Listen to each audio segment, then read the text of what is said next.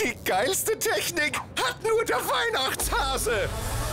Zum Beispiel den riesigen 139 cm OLED 3D TV von LG mit Curve Display um weihnachtliche 1888 Euro. Saturn, so muss Technik.